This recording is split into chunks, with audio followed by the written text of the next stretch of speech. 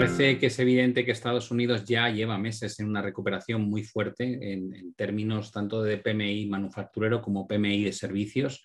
El avance eh, rápido en el proceso de vacunación ha permitido a Estados Unidos una vuelta a la nueva normalidad mucho más rápido que en Europa. Y como digo, bueno, pues eh, a diferencia de lo que hemos visto en Europa, con un primer trimestre bastante débil todavía, en Estados Unidos llevan todo el año 2021 con, con datos muy positivos da la sensación de que van a continuar en esta senda. Eh, se junta la reapertura de las economías y luego un estímulo extraordinariamente grande desde el punto de vista monetario y fiscal.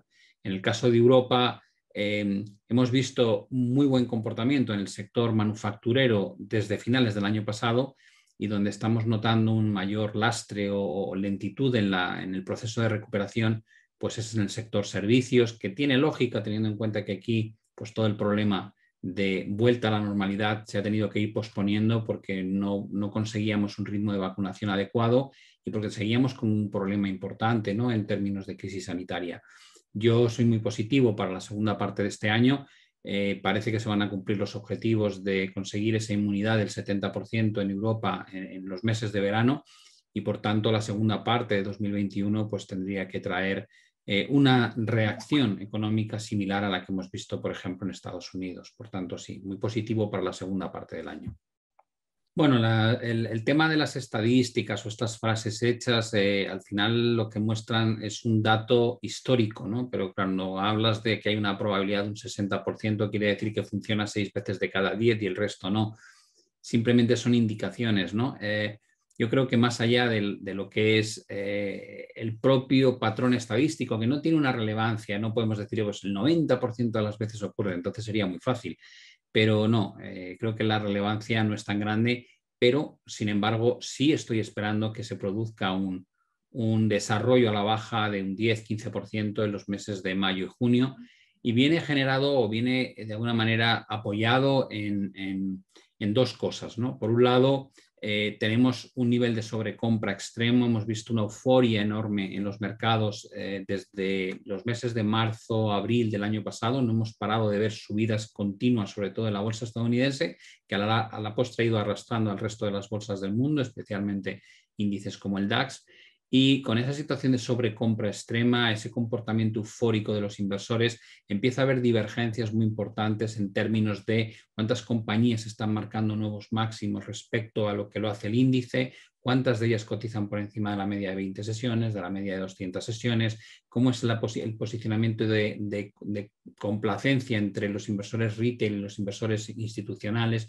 Empiezan a verse una serie de divergencias, incluido eh, lo que llamamos el call put ratio, que al final mide un poco la cobertura a potenciales movimientos a la baja respecto a apuestas alcistas, todo empieza a tener ya una sensación de que el riesgo de una corrección de un 10-15% para este próximo mes y medio, dos meses, es cada vez más alto. ¿no? Em, ayer vimos una pequeña reacción negativa eh, en el Nasdaq 100 y en el, en el DAX, pero todavía no se ha trasladado de forma generalizada a todos los demás índices. Pero yo sí creo que los inversores tendrían que ser muy cautelosos en este mes y medio próximo porque no sería nada raro que veamos ese tipo de correcciones y en el caso de producirse pueden ser grandes oportunidades de compra. Bueno, digamos que la, reacción de los bancos, eh, si nos fijamos un poco cuáles han sido los catalizadores, por un lado hemos tenido hace unos meses em, una espiral de operaciones de, fusiones entre, entre, el sector eh, que, como, hemos, como han puesto en manifiesto eh, CaixaBank y Bankia, al final el argumento principal de ese tipo de concentraciones del sector es reducir costes. ¿no? El ganar dinero es más difícil, con lo cual para mejorar la cuenta de resultados lo que hacen es reducir costes, eliminando sucursales, eliminando parte de la plantilla, reduciendo pues, esos puestos que están duplicados y es una manera de sobrevivir. ¿no? Lo que pasa es que el sector ya ha tenido una concentración bastante alta.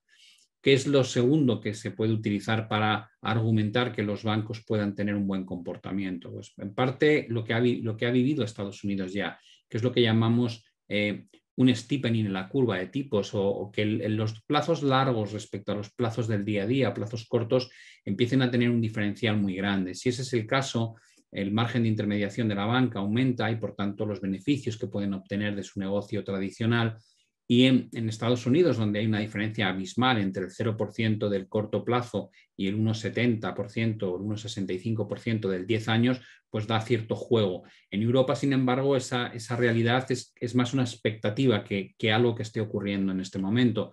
Eh, en, parte porque el propio Banco Central Europeo ha dejado clarísimo que está incrementando las compras de bonos para evitar precisamente que las rentabilidades de los plazos largos puedan subir. Por tanto, aquí está más intervenido el mercado de lo que parece, más intervenido incluso que en Estados Unidos desde el punto de vista del mercado de bonos y la expectativa, yo creo que se está desarrollando ahora a favor de los bancos, viene un poco apoyada en que vemos datos de inflación cada vez más altos. Con esos datos de inflación, la esperanza de que puedan o tengan que subir los tipos de interés antes de lo que dicen los distintos bancos centrales es lo que atrae el interés.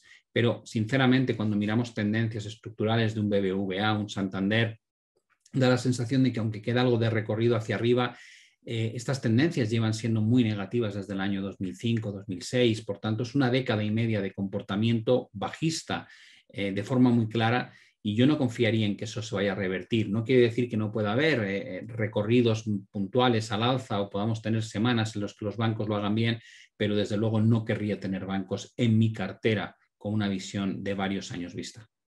Sí, en concreto, eh, aunque también las correlaciones hay que entenderlas como algo que no son 100% jamás, es decir, no, tenemos un activo que haga un comportamiento explicativo de otro activo al 100%. Lo que suele haber son comportamientos que están, de alguna manera, riman en, su movimiento. ¿no? Entonces, cuando hablamos del dólar, el dólar tiende a apreciarse más fácilmente en un entorno de inestabilidad, en un entorno de correcciones. En ese momento el dólar actúa un poco como moneda refugio. Eh, el hecho de que estemos atacando nuevamente esta cota, que estamos, que estamos viendo que, eh, que se ha marcado un techo aparentemente claro y que incluso hay potencialmente alguna figura de distribución en el, en el dólar contra el euro, por ejemplo, o en el propio dólar index de acumulación, podría indicar que las próximas semanas el dólar puede tender a apreciarse. A eso hay que sumar un convencimiento que llevamos viendo desde principios de este año por parte de la industria de que el dólar se va a debilitar sí o sí. Eh, el primer susto ya nos lo pegó cuando se fue en euro dólar de 1,23 a 1,17 y yo creo que va a haber otro. Yo creo que va a haber otro movimiento favorable al dólar durante el proceso correctivo de las bolsas que probablemente va a hacer eh, daño al posicionamiento de la industria y que una vez termine esta fase correctiva probablemente va a volver a abrir una expectativa de un dólar débil que se va a mantener tal vez incluso hasta finales de año. Pero como dije hace tiempo, yo creo que el dólar este año va a ser más de trading que direccional. Hemos visto pues, cómo arrancamos con, con un dólar débil, luego se fortalece, ahora eh, luego se debilita, ahora creo que se va a volver a fortalecer y probablemente se volverá a debilitar. Al final no espero grandes tendencias en el dólar este año, al menos contra el euro, sino más bien eh, un, un vaivén al alza y a la baja con un eje central en torno a 1,19, 1,20. Eh, tal vez veamos extensiones a 1,25, tal vez veamos caídas hasta 1,16, pero como digo, mm, me extrañaría que vayamos a ver un comportamiento muy direccional por parte de la divisa estadounidense. Bueno, yo creo que hay, eh, hay cientos de criptomonedas ¿no? y no todas son iguales. Eh, a mí Dogecoin me parece una divisa, o en este caso una cripto, a la cual le presto prácticamente cero atención. ¿no? Me, parece como, me parece un experimento social, ¿no? como otro cualquiera.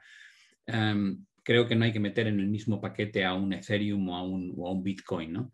Em, em, estamos viviendo un comportamiento eh, de euforia eh, que recuerda mucho a lo que se vivía en 1999, ¿no? este tipo de reclamo, cuando el mercado cuando, cuando da la sensación de que da igual lo que compres en el mercado, tanto si tiene sentido económico como si no tiene sentido económico, ganas dinero. Y lo estamos viendo en todo tipo de activos, no se está produciendo solamente en alguna acción o en alguna bolsa, sino que lo estamos viendo de forma generalizada. Eh, puedes comprar deuda basura porque no tiene riesgo, porque la deuda basura paga un 4% cuando es un precio o un tipo de interés ridículamente bajo para un bono con ese riesgo. Pero Da igual, se puede comprar porque ahí están los bancos centrales. Puedes comprar cualquier acción, da igual el precio que, al que cotice, porque eh, con tanto estímulo monetario no va a bajar. Puedes comprar cualquier índice, porque va a haber recuperación económica. Nadie habla de que cuando llegue la recuperación económica hay que quitar el estímulo monetario y, fiscal que tanto ha ayudado a subir hasta aquí. eh, puedes comprar cualquier cripto, da igual si tiene sentido o no, da igual si representa un, emoji, da igual, compra cualquier cosa que sube, puedes comprar cualquier materia prima.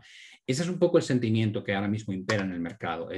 no hay riesgo, cualquier cosa que compras ganas. Y eso genera que los inversores actuales ya no sean inversores profesionales o los típicos inversores retail que siempre están gestionando su propio capital o su propio patrimonio, sino que ahora mismo hay mucha gente que jamás se ha preocupado y jamás se ha interesado por los mercados financieros que está acudiendo al, canto de sirena, ¿no? A qué fácil es ganar dinero en la bolsa, qué fácil es ganar dinero con las criptos, qué fácil es ganar dinero con cualquier cosa que compres.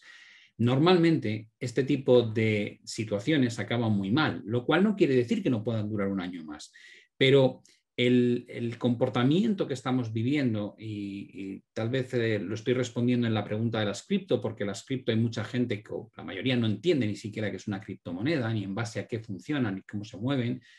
Eh, y sin embargo, es un reclamo muy interesante porque como multiplican por muchas veces el retorno, eh, con poco dinero uno puede pensar, pues si capturo una gran subida de un 2.000, 3.000%, a lo mejor consigo un gran patrimonio invirtiendo muy poco. Es un reclamo válido y es real que es así, pero no hay que olvidar que las criptos, en, concretamente Bitcoin, que es, la, la, criptomoneda que lleva más tiempo en el mercado, desde el año 2010 en adelante, ha sufrido tres correcciones de más de un 85%. Eso quiere decir que habrá gente que perderá todo lo que ha invertido.